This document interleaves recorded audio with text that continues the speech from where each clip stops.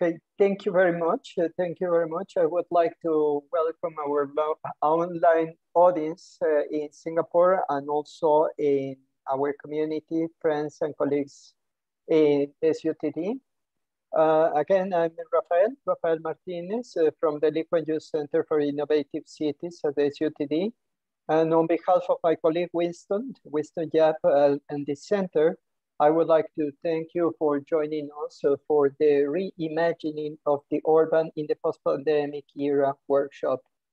So our next panel, as you may know, is health awareness, a new civic duty.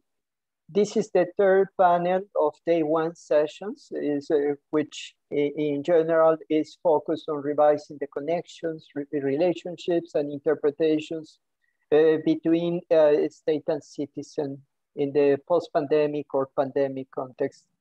Today, uh, I'm honored to introduce our panelists. First, we have uh, Professor Ranjit Singh Rye. He is assistant professor at the Department of Political Science, University of the Philippines. And uh, we have, of course, uh, Professor Erwin Alampay, Professor of uh, Public Administration at the University of the Philippines as well. I am thankful uh, to our panelists for taking time off their schedule to accept our invitation. And next, as we have been doing this since this morning, my colleague Winston will explain the modus operandi for this session. Winston? Thank you, Rafael. So um, for this session, we will proceed with a 30 to 35 minutes Q&A within the panelists and the moderator. And after this session, the rest of the time will be Q&A with the audience where we'll pick up questions from um, the online participants. So online participants can submit their question via the Q&A column or they can also um, raise their hand and they will be invited to voice their questions. So uh, without further ado, I will pass the time over to Rafael to kick off with the first question. Thank you very much, uh, Winston. So uh, as you know, the title of this, uh, uh, of this panel is Health Awareness, the New Civic Duty, but we ask, uh, this is a question. So let me give you a background uh, and then I will give uh, a starting question so to discuss with Professor Alampay and Roger. So COVID has uh, prompted increased health awareness. People are more conscious about hygiene and taking necessary precautions to protect themselves and their loved ones. Yet, some argue that all habits die hard and people will revert to pre-COVID health standards. So the first question I have here is, how has citizen health awareness changed in your city over the past year? And, uh, and a follow-up question is, is health awareness a new symbol of civic duty and being responsible to one's country? Let me repeat the questions. So how has citizen health awareness changed in your city over the past year? And second, is health awareness a new symbol of civic duty and being responsible to one's country? Who would like to start? Professor Ranjit, perhaps, or Professor Alampay? I, I can I can start. Very good. Uh, I think I think health awareness in the Philippines in general has parang, uh, has fluctuated in a in a way. Uh, if if you're talking way way back, like it, yeah, I think to a certain extent, uh, government in a way also has influence on the awareness of citizens. I remember uh, during the early early 90s, I believe, during the time or, or the late 90s, during the time of President Ramos, one of the more dynamic health officials was uh, Senate, um, then Secretary Juan Flavier. And during that time, he had a 10-point program, and one of his programs was mass vaccination, mass uh, anti-health uh, smoking campaigns, etc. And it really increased the, the awareness of health among people. So smoke, smoking policies were reduced, people were uh, took up um, vaccination, etc. And then moved forward a couple of uh, years during the time of uh, Aquino, uh, there was a there was uh, an issue about uh, dengue vaccination, and a lot of people had a negative um, idea about vaccination because there were when when when when dengue vaccines were rolled out. Uh, later on, they found out there were negative uh, negative uh, side effects that could happen to people who haven't had uh, dengue. And of course, move forward to to to now, uh, I think Filipino uh, Filipinos who haven't had uh, prior experience to pandemics, of course, or uh, or or disease, airborne diseases, are starting to become more aware with respect to proper hygiene in terms of uh, mask wearing and hand washing.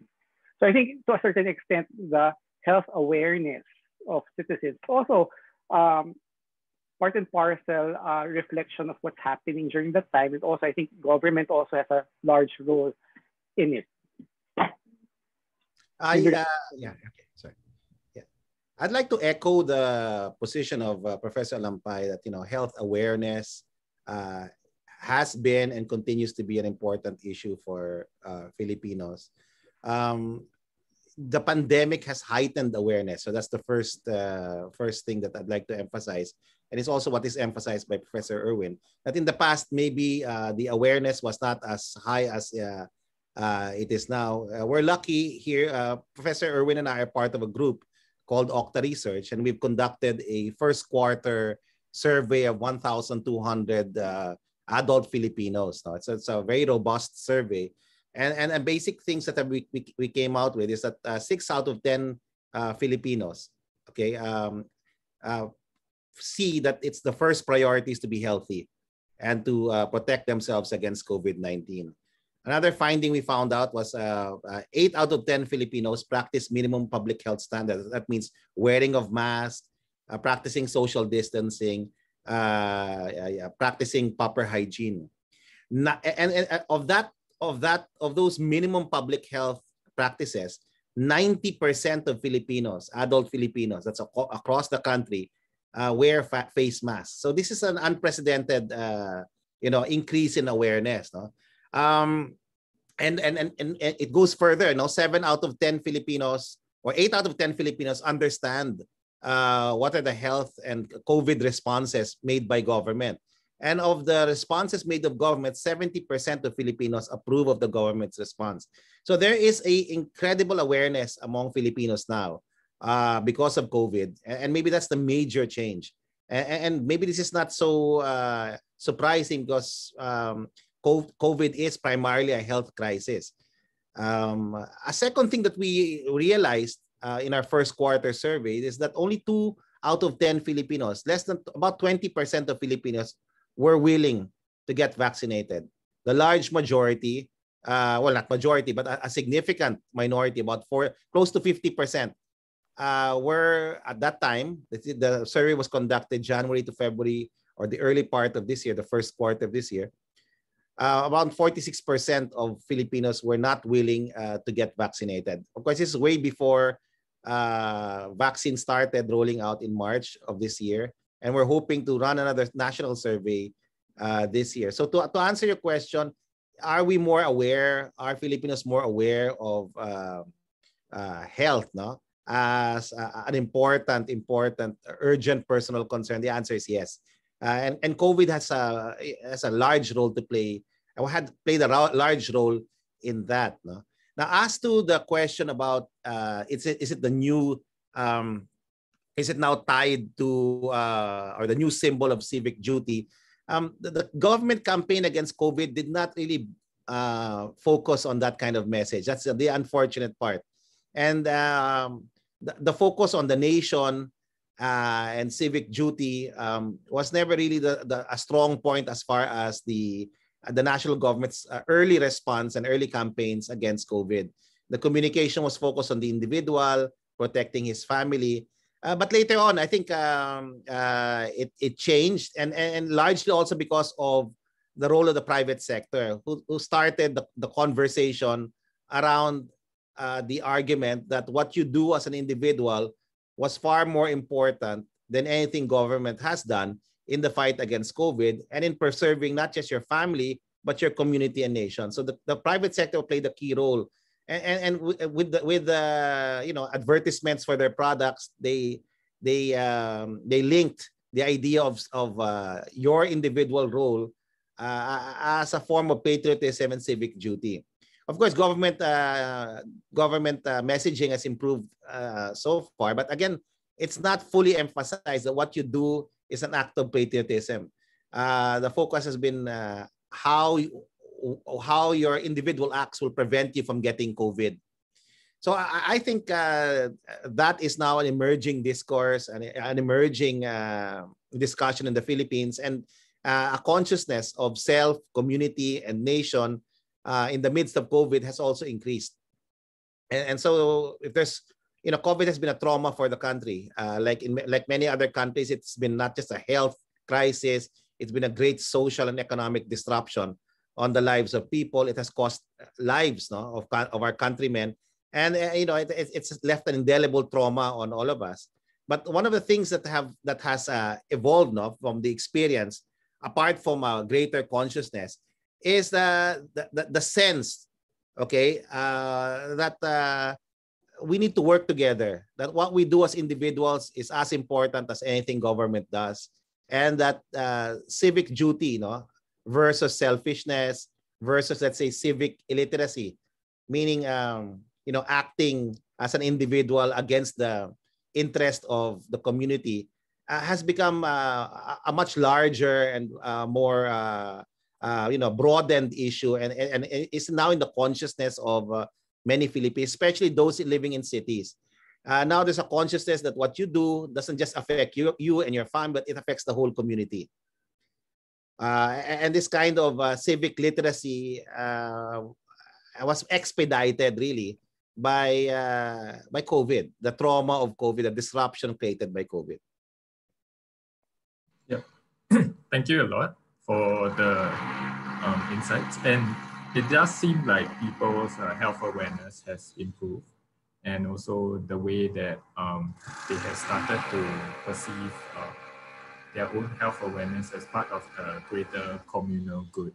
So this leads us uh, naturally to the next question where as health professionals, you know, we've been through a few pandemics and there's this saying that old habits die hard and how do you think people will behave in the post-pandemic era? Do you think like people will stick to higher standards of health practice, or do you think like they will go back to the old normal as they have been accustomed to in the past? Yeah. So maybe for this time we can start with Professor Ranjit.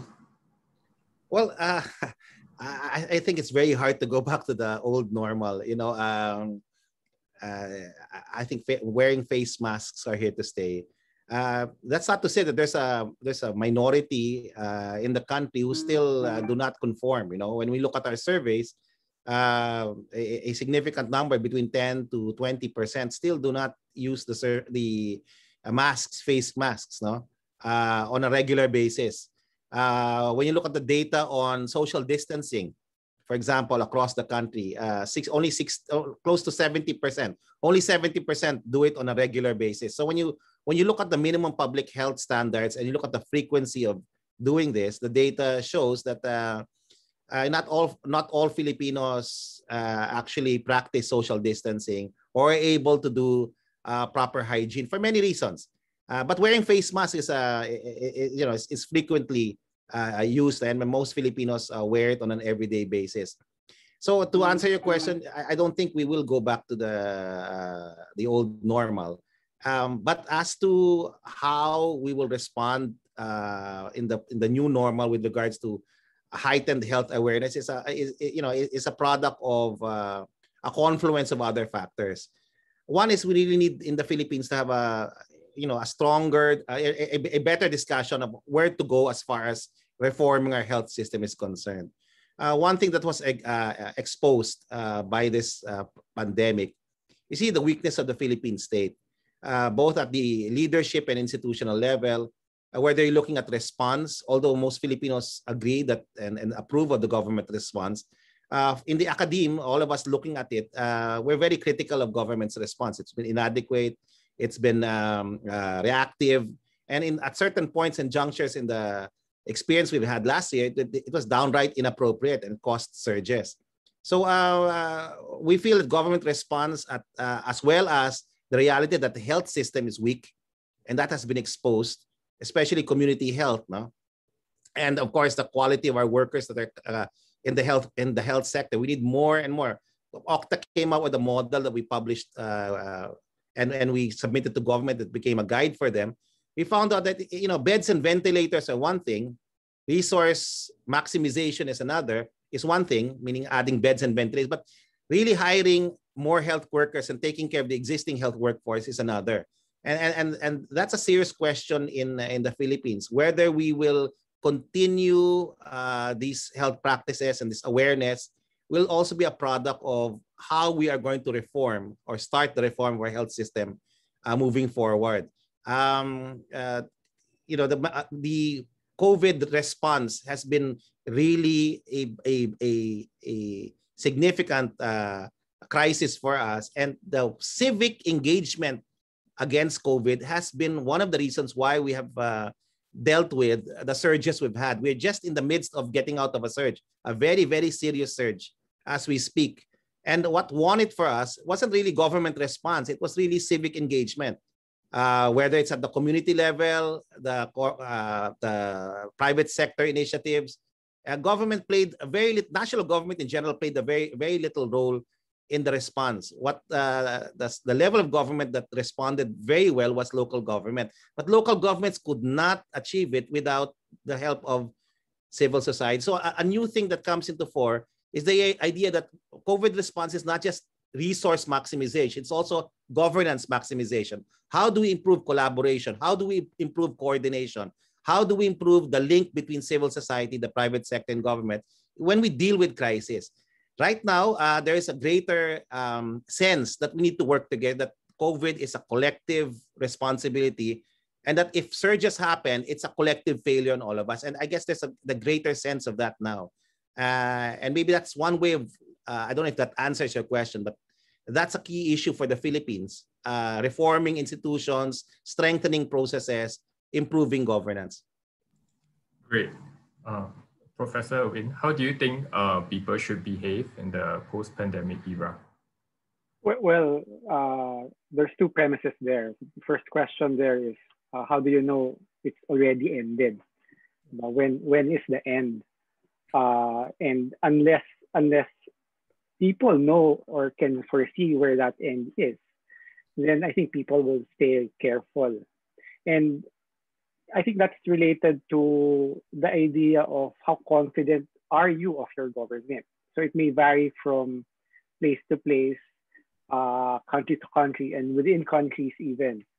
Um, in the Philippines, I think to a large extent, a lot of uh, what what Professor Ranjit was was talking about was that um, civil society tends to complement the shortcomings of government uh, whether it's putting up community pantries or uh, feeding uh, other people to help them or to give um, resources that government cannot do. So to, to a certain extent, if uh, if you are not confident of the resources or in this case healthcare system that government has, then I think to a certain extent, as an individual, you try to make sure uh, to be safe, to, to do continue to practice whatever things you are you think will keep you safe. So for instance, even though the government would have quarantine protocols and say, oh, it's, it's safe. But if you feel it's not safe, then you will stay at home. Okay, so people might still continue to stay at home, or people might still be, if they are not sure their neighbor is practicing good health care, then they would still practice mask wearing just to be sure, just to be safe or minimize their travel. So you you you you you see that in terms of how people are the mobility figures, for instance, from country to country. I think that also is a reflection. Uh, the idea that I'm not moving around as much is also already a, a, sign of of health practice, a, a sign of citizenship, because you don't want uh, cases to spike. So, so for me, I think uh, people would still practice uh, good health uh, practices in large part because it's their contribution, especially if they think government is not doing enough. So sometimes they do it on their own. So that's in, in, the Philippines, in, to a certain extent, that's also why the Philippines has such a large, thriving, non-governmental organization. It's not so much they're against government, but it's to it, they provide services in parallel to government. On the other hand, sometimes government takes it as a as a, something else. They distrust non-governmental organizations, thinking thinking they undermine. But uh, like like uh, Professor Rye was talking about, you, you could see it, consider it as an optimization of governance, that, that each has a role, even individuals have a role in, in making sure that uh, health is maintained. I'd like to add something more. You know, uh, Professor Professor um, Alampay touched on something that I I, I failed to to emphasize. You know, when, when you know uh, surges happen, uh, epidemics happen. It's uh, you know, uh, but it's governance, bad governance in general that exacerbates. And when people feel that there's a minority that gets away, for example, with uh, with selfish behavior, with not practicing minimum public health standards, you know, in a sense, legitimacy becomes an issue. It's very hard to practice this, especially in a um, metropolis like Metro Manila, where it's so hard because of the density to uh, establish social distancing, uh, the, the reality of poverty and uh, our, our, you know the labor structure here requires you to work on a daily basis.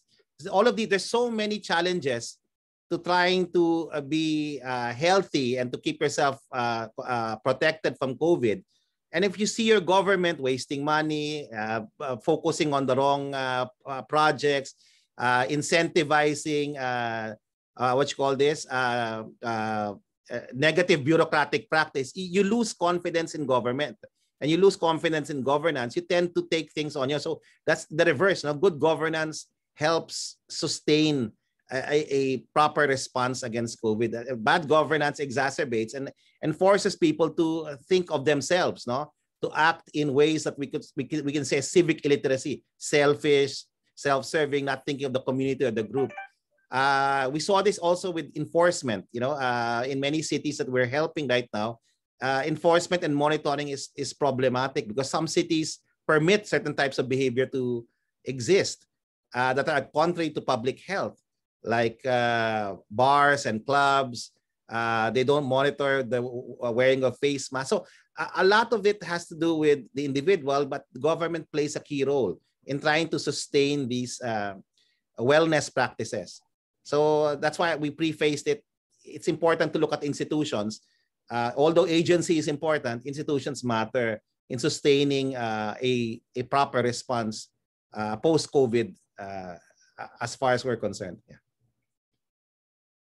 Very good. Uh, so let me let me move on with uh, another question for for you, professors. So what can be done to make people more responsible for their own health and those around them.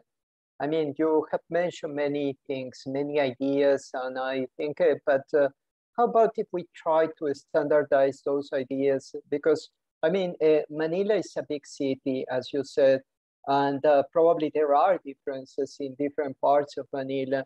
Um, maybe the richest uh, part or the wealthiest uh, part of the city might not feel the same like in other parts of the city so, uh, so the question is again, what can be done to make a people more responsible for their own health and those around them in general, like uh, in a massive way? Uh, let me take the answer first. Yes. It's an interesting question because uh, I remember uh, sometimes when when there are spikes in cases, government would say uh, citizens are not following or not doing enough. Okay. I think from the context from from the context of the citizen, you have to also understand it in terms of are there parang systems or institutions in place to allow us to follow that system. So I think uh, we have to have systems in place to help people uh, comply or practice. Okay, so one one system would be, of course, the the public transport. Okay, Are, is there enough public transport that would help citizens get to where they have to go in a safe manner? Okay, uh, I remember at, at the at the beginning when when they had lockdowns, then there was no public transport, and people started to be to be grouping together in long lines and long queues. So you're not actually encouraging it, but it's not the citizens' fault. It's because there's no system in place to allow them to go to wherever they have to go. Or you have lockdowns and yet you don't feed people. So you can't expect people to stay.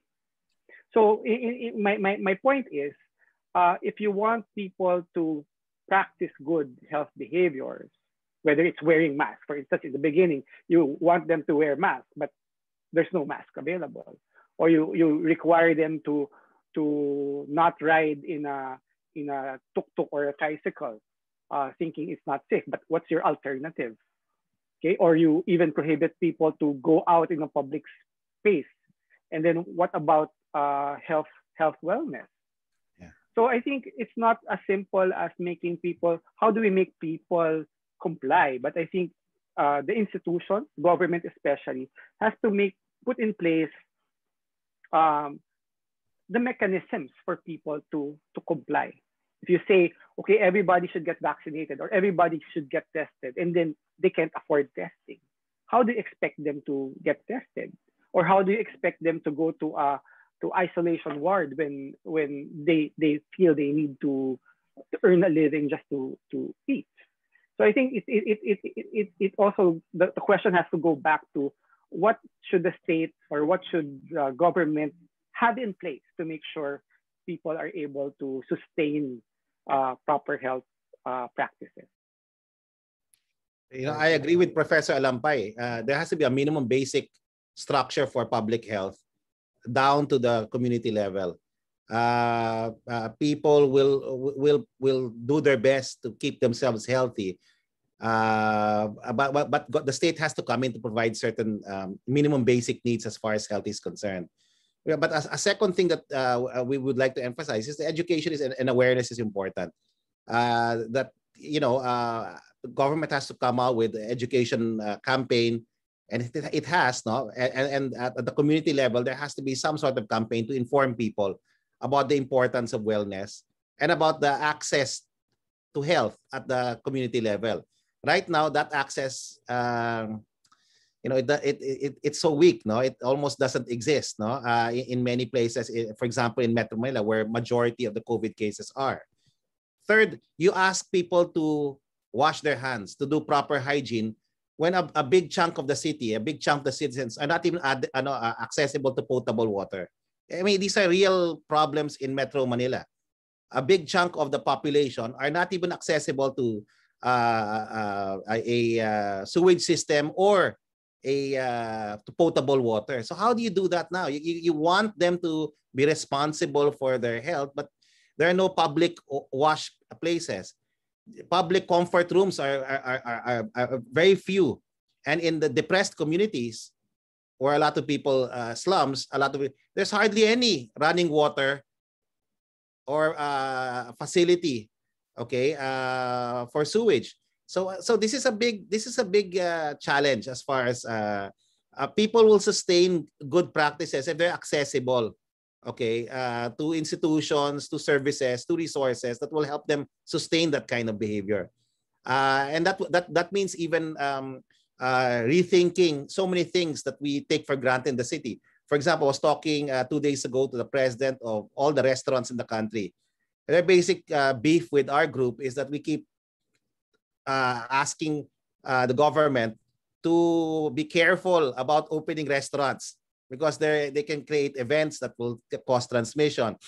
Uh, and now that the discussion with us was maybe we have to re- rethink the design of restaurants from indoor restaurants to, let's say, more al fresco for the next few months uh, to sustain the industry. So, for example, or, or provide incentive systems or incentives for people who are vaccinated to go to restaurants. Vaccination itself is a very is a major issue in, in the Philippines. And, and, and, and uh, right now, as far as hesitancy is concerned, only 20% of uh, Filipinos want to get have themselves vaccinated as per our survey in the last in the first quarter that's been January and Feb. We're hoping that that will improve. Okay? But there's a 9 or 10% segment of our population that just don't believe in vaccines at all.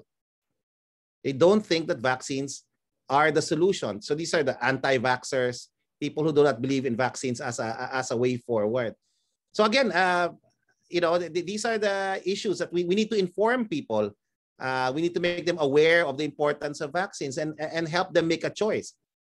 I don't believe in uh, pro- proposals of our government to mandate, especially the very poor who get entitlements from government uh, to get vaccinated. I'm against that. I think p- p- people's choice is important, and the freedom to choose uh, is significant in this particular discourse.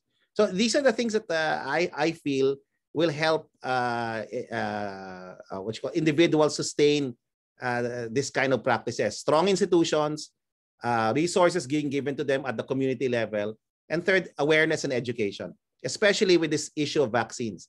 Vaccines now are being tied up to patriotism. For the first time, the act of citizenship is being linked to vaccinations. But uh, only now, after more than uh, a year of uh, dealing with COVID. Very good, uh, Professor Ranjit. Uh, thank you very much. Uh, let me go to, uh, we have another question. This is actually, you have already touched many points of that, but uh, I think it, it, will be interesting to see this from a different perspective. Let me explain you uh, which perspective. So the question is, what role can the government play to promote health awareness and what else should they do? I know that you just mentioned that, but uh, I my question is more from the point of, from the spatial perspective. For example, we know that uh, the, there is the barangay level, we know the city level, but um, we tend to think it like uh, it's pretty much the same everywhere.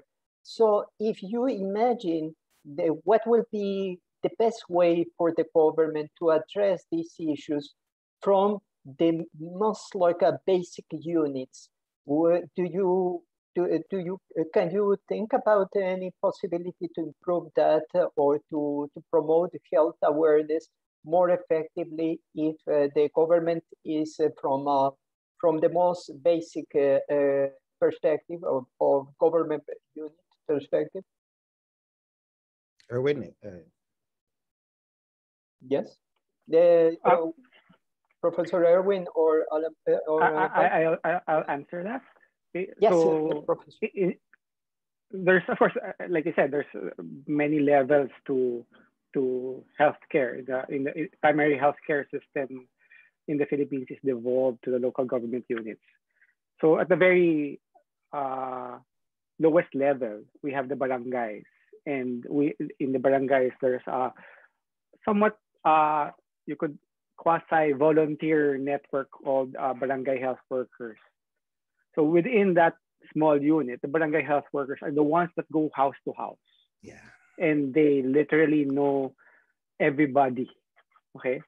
And I think to a certain extent, recognizing the power of that that unit, that basic unit of barangay, especially the most, uh, if you think about it as uh, frontliners, barangay health workers, they are a very powerful uh, motivator of health behavior. And usually they are the ones who educate, they are the ones who monitor, they are the ones who report. Okay. And and they know who's sick, who's who what the situation are on the ground. And I think when when when the pandemic happened, I think we we didn't utilize that too much. We we centralized a lot and sometimes we duplicated by saying we should do contact tracers, etc. When we already have a very uh, large network on the ground. I think what's missing is actually the the information systems for integrating all those different levels of government, from the base, most basic to the city to the national. And uh, at, the, at the city level, of course, the ne next aspect is, of course, the different aspects like uh, whether it's testing, okay, and then, of course, the, the other aspect is hospitalization. And that's where, of course, the larger levels of government come in. But the, the more basic ones, if you're talking about citizen awareness, about health practices, I think the most basic unit has a large role to play in that. And they are, in fact, I think the ones who know the real situation on the ground.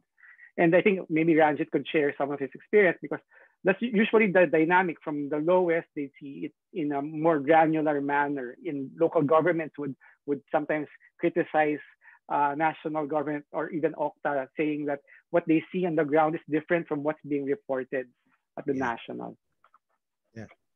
I, you know, I, uh, you know, just to build on what uh, Professor Alampay has uh, suggested, um, well, well, government has a lot to do. You know, we we start we prefaced our initial discussion by saying uh, much of the work has been ramping up resources, but not really focusing on the fundamental problem, which is the weakness of the state.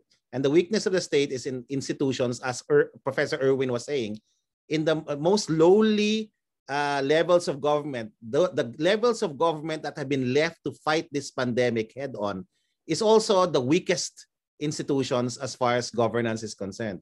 They lack resources, they lack manpower, uh, and so much responsibility has been thrown at them. And, and it's, it's almost heroic what they've been doing over the last uh, year or so just really uh, holding the fort as far as communities are concerned.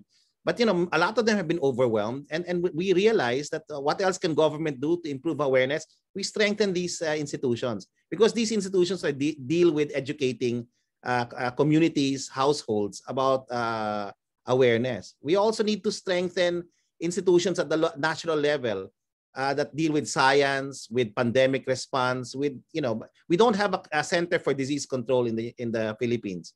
What we have are small bureaus that were wholly inadequate for dealing with this uh, pandemic, both in terms of surveillance and both in terms of educating the masses in terms of uh, awareness. So we need to improve on that. No? We need to have a stronger link between government and universities because this is uh, something that uh, will help uh, health awareness. And, and the, the general the, the general what you call aware campaign for um, prevention or for what we call universal health has to move forward in the, in the Philippines for health awareness to to really uh, hit uh, the household and individual level. It's it's uh, the the per capita income, per capita expenditure for health in the Philippines is a joke. I don't even want to talk about the amounts. No, uh, uh, the the budget for health, for example, is not a priority. Uh, before COVID, it was not a priority. It in fact for the last ten years, it has been declining. So uh, again, if you want to increase awareness, you have to strengthen the institutions that make awareness possible. And that has to be a, a, a seen not as a cost, but as an investment. Strengthening our healthcare system, eh, uh, uh, improving local uh, community healthcare uh, institutions. Uh, we need to focus on institutions and processes. And we need to allocate resources for this. This won't happen overnight, but over time, uh, if there's a concerted effort, I, I think we, we can overcome uh, our institutional weakness as far as this is concerned. Because health awareness is a function of the weakness of the health system. And, and government has paid lip service to healthcare reform over the past few years. Congress, on the other hand, has taken a, a more progressive stand of, stance over the last decade, whether it's reproductive health, whether it's the universal health care, but these are largely unfunded mandates, meaning government has not given the budgetary allocation to privilege these advocacies, these mandates. And uh, that's why I'm saying it's lip service. We now have to take uh, institutional reform in health seriously. If we want to increase awareness, we need to build those institutions. I, I just wanted to add something to my earlier statement. I think another aspect, especially in the, in the context of the Philippines, is um, the digital divide. Uh, yeah. We assume that everybody has access to um, smartphones, which is to a certain extent true. Um, but in, with respect to the pandemic, for instance, uh, in in in Quezon City, for instance, we've we've we've started vaccination, and part of vaccination was using apps, uh, and there was no take up, and largely because the, the poor couldn't understand how to navigate registration, even though uh, a lot of them know uh, you could be vaccinated. So there's, uh, in the context of, of using the, the healthcare system, some places actually did house to house. They went house to house, informed people this will be your schedule. So it's, an, it's a non-ICT intervention. And it was a more organized manner. Okay, largely because I think part of the divide is even if you have access to ICTs, but you don't add, actually understand the navigating the services there, then it's no use. I mean, the technology is no use. It, it doesn't motivate people. That doesn't make people more aware. The other aspect I wanted to talk about was that even if you have access to the device, sometimes the information that you get yeah. or pushed to you are wrong. Okay, yeah. so I, I know a lot of people who who talk about alternative kinds of interventions, alternative kinds of medicine. And hence, I go back to, to, to what I said, barangay health workers. I think they are the more trusted ones. If they yeah. could be given the right information, they could also convince people a lot easier because they know the, the people there. Okay, they could tell them what works and what doesn't work, what is uh, validated, what is what is already uh, sanctioned kinds of interventions, where to go, etc. Uh, so people might have devices, but they might not be able to go to access or access the proper services. And even just teaching that, I mean, you could have barangay health workers as intermediaries for them to register uh, at the very least. Okay, yeah. uh, but I think those um, those channels, uh, information systems, people information systems are still important in our context. I'd just like to add quickly, uh, you know, Erwin uh, touched on some issues I, I, I, I want to just re-emphasize. Open data was a big, big problem for the Philippines uh, at the start. Uh, getting information down to the barangay level so that they can make changes uh, was a challenge. Uh, a, a, a, second thing was the top-down approach of government. I think that that led to so many missteps early on. the, the idea that you know um, what they say on top and what they decide on top will without co coordinating collaborating or communicating with uh, those at the at the lower levels would work uh, somehow uh, was a mistake. Uh, in fact most of our surges were uh, you know uh, were, were, were preceded by edicts from above that were mindless actually and were very hard to implement at the local government level one famous one was the Balik Probinsya program in June, which started the first, the second surge in our country.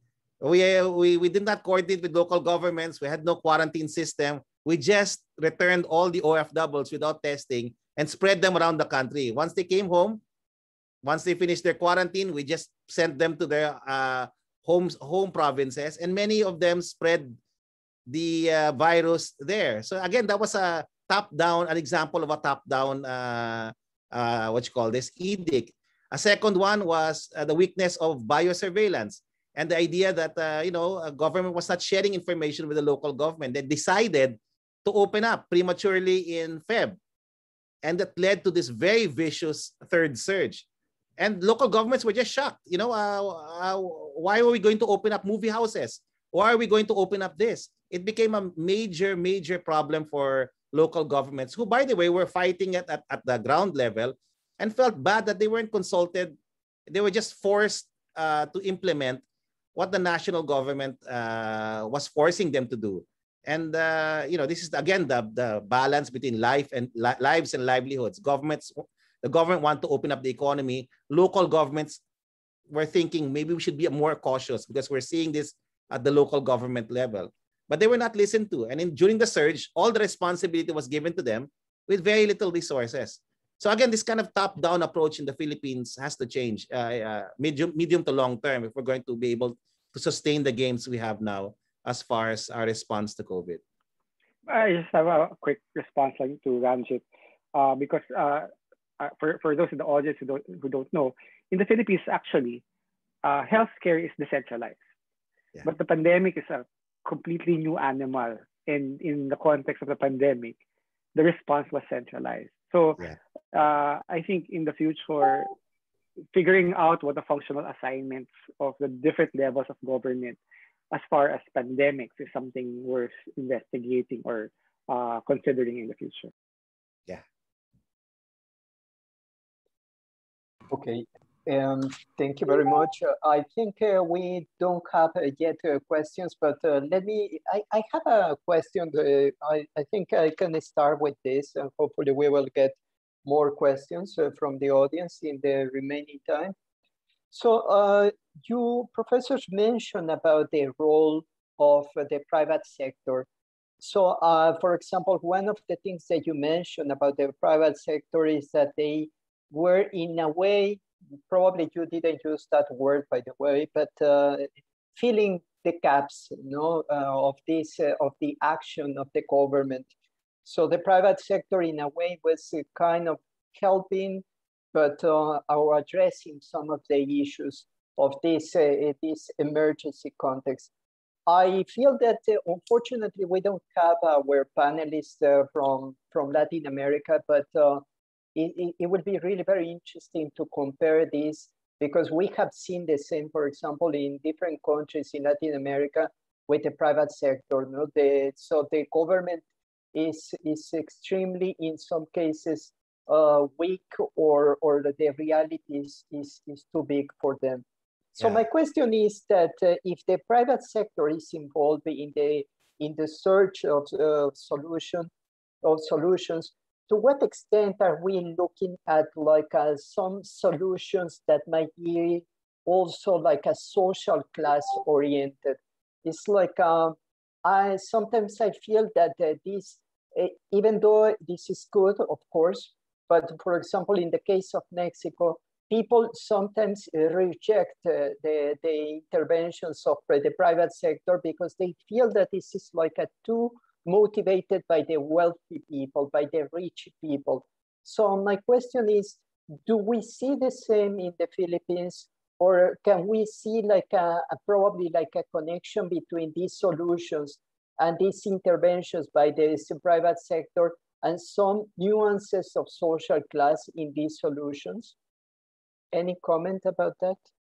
Well, yeah, you know, uh, when you talk about the private sector in the Philippines, you know, it's similar to to probably most of Southeast Asia and probably Mexico. You know, there's the private sector made up of big business, the oligarchy, we call it in the Philippines. Sure. And, and the private sector where you have small, medium scale enterprises. And many of these uh, small and medium scale enterprises, uh, uh you know, uh, on their own initiative, put up their own pantries, put up their own uh, civic or, or voluntary, you know, volunteer program to, to help, uh, let's say, jeepney drivers, communities that had, uh, uh, you know, no access to resources. There were communities that really had suffered a lot because of the lockdowns. And so the, you know, these initiatives are not huge in the sense that they're, they're run by all the, you know, the big business. And in the Philippines, the same sentiment does exist that you know big business is uh, seen as skeptical in fact the reason why we also had surges were because of the arguments uh, uh, po- forced by big business on government that we needed to open up we had to open up quickly uh, despite the fact that we had not managed transmissions the, the last two surges were largely driven by a discourse pushed by the private sector and so while that's not apparent to most Filipinos, those of us who know the policymaking dynamics know that the private sector has been uh, calling the shots. But the private sector also knows that for us to open up, for us to be less um, vulnerable to surges in COVID-19, and for us to quickly uh, jumpstart the reopening of the economy, we really need certain things to be done. Testing was a big thing. Testing was a very, very big area that the private sector contributed in. Uh, initially, they, there, there was a major misstep. They were pushing for uh, uh, a testing kit no uh, that was so inefficient and and, and uh, you know inaccurate that it caused a surge okay but now they're pushing for other testing uh, more accurate testing like RT-PCR testing they're spending that for their employees and for the communities the private sector is also very strong in vaccination in fact one of the biggest uh, hauls of vaccine we're going to have in, in the next few months is a one or two million dose uh, uh, initiative of the private sector. They bought a mil, one or two million doses of Pfizer and Moderna. And, uh, and so the private sector is providing that to the public also. They're, they're setting up massive vaccination centers. So the private sector, while self-seeking and self-serving, understand that uh, for us to move forward, we need to deal with transmissions. That for that, that they're all of the same conviction now because of the surge that uh, for us to open up the economy and jumpstart, jumpstart economic recovery, we need to deal with transmissions. So now that private sector interventions a little more uh, you know, constructive, more collaborative, and, in line with uh, the government's plan. Uh, they're not asking to open up quickly anymore. They saw what happened in Feb when they forced the economy to open up and uh, a surge, a very terrible surge happened. So they're very quiet now, but they're now focusing on vaccination. So there's a role for the private sector and um, uh, communities will continue to play a significant role in monitoring, in enforcing minimum public health standards, and in fighting COVID in general. But uh, the more that that linkage between the civil society and the private sector and government are strengthened, uh, the more likely we will see solutions. Mm, very good, uh, Professor Ranjit. Uh, uh, Winston, do you have any probably last question and before we wrap up? Yeah, so um, my question is about inequality, and I think class has been mentioned previously as well. And the theme of inequality has also emerged in the earlier panels. And interestingly, throughout every panel, there's talk about the urban poor. And do you, in your opinion, does inequality affect um, the citizens' ability to improve their health awareness? Um, I, I think we answered that already indirectly earlier on. So because definitely inequality or of course poverty is a factor in how people comply. Like uh, two week lockdown is something uh, white collar worker can be able to survive because they can work from home. But frontliners who uh, whose work uh, has to be physical or physical presence can definitely not afford to stay at home for two weeks. So that alone already exacerbates uh, the challenges of the pandemic. The same way not that if uh, testing costs, let's say, 3,000 pesos, uh, uh, poor poor people won't be, even consider testing and they will just isolate at home and you won't be able to monitor them. Or they they would actually try to even um, attend work even when they're sick if they have to be paid on a daily wage. So definitely inequality especially in uh, in poorer countries and in urban poor conditions is a is a factor that you cannot ignore. And that's why um, subsidies or minimum wage, uh, parang universal uh, wages is something that is worth thinking about. Yeah, uh, just to build on that, you know, uh, the, the pandemic has exacerbated the divide. No, it has exacerbated uh, social, political, and, and and economic divides in the country. It's reinforced uh, changelessness, uh, but it's also uh, put to fore the idea that uh, the wealthy in our society need to pay back more. You know, there's now a discussion on wealth tax. I don't know if it's a discussion in Mexico, but it's a discussion in many countries now that uh, we need to uh, reallocate. The state has to come in and reallocate services because of the great disruption caused by uh, COVID. And yes, inequality has uh, you know has been an incredible challenge no? Uh, as far as dealing with COVID-19. It's uh, not only has it highlighted, it's worsened. In the Philippines, 5 million families have moved back to, to higher degrees of poverty and even hunger. So it's a real problem for the Philippines. Uh, I would think that it's also a challenge for, for many of our Southeast Asian neighbors.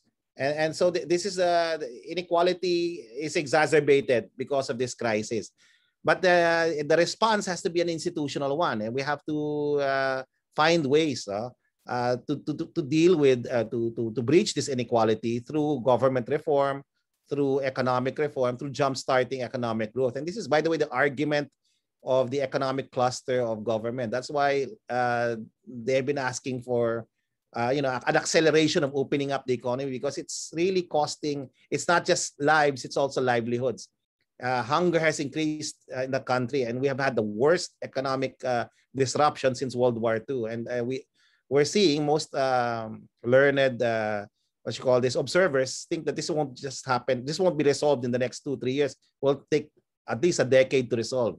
So, uh, you know, it's true. Yeah, it, it does matter. It is, in fact, the crux of the challenge. And in the Philippines, a lot of the response of government has been trying to focus on how to help the poor because there's a real fear of social disruption. So that's why uh, massive uh, social amelioration packages have been set up. Uh, that's why the focus of vaccination now has been recalibrated to focus on the poor, especially the working uh, class. And again, there's there's a heightened awareness of that. But uh, their plight has been there, like that even before COVID, and uh, it will require a social reform, significant social reform now uh, after COVID because of the disruption caused by COVID. Very good. Okay, so I think uh, we have just like uh, five minutes to wrap up, and I think uh, we don't probably uh, there will be more questions after this. Uh, the, the, the, webinar is uh, posted in our website. So we would like to thank you all for joining this panel, Professor Ranjit, Professor Alampay, and uh, it was uh, really nice to have you in, in this, in this uh, panel. Uh, your ideas and your comments were very enlightening and very interesting for us and certainly for the people who will be checking uh, uh, these webinars later on. So we would like to invite you, Professor Alampay, Professor Ranjit, for tomorrow. If you have time, it will be great to, if you can join us and all the people who have been today with us. We would like to invite you to the second day of our, our workshop, which is Imagining the Post-Pandemic City, Shifting Conversations, uh, call, uh, Calls for Action and Critical Dialogues. Uh, we will have uh, people, of course, uh, from Southeast Asia. We will also have our uh, one colleague from Chile join, joining us and it will be great to, to have you all. And again, thank you very much. Thank you very much all for your attendance and thank you all for your comments. And we look forward to having you tomorrow. Thank you. Thank you very much. Thank you. You're welcome. Thank, thank you, you very much. Well. Professor Alan